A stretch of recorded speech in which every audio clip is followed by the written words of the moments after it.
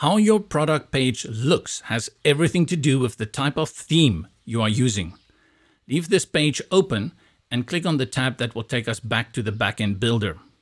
Go to Appearance, Themes, and click Add New. Let's add three more themes from our partners here. Blocksy,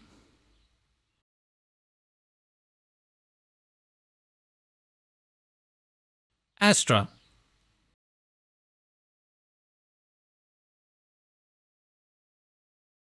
and Neve.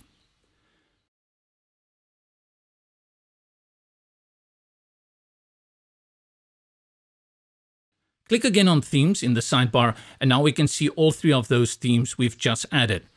Let's activate them one by one and see how the theme affects the product page styling. Blocksy first. Activate. Go to the product page tab that is still open, refresh the page and immediately you'll notice a considerable change in layout and styling. Let's go back and activate Astra this time. Back to the front end and refresh. Very different. And you'll notice an available area for a sidebar on the right. Next, Neve. Go back and activate Neve to the front and refresh. And again, we see changes in styling.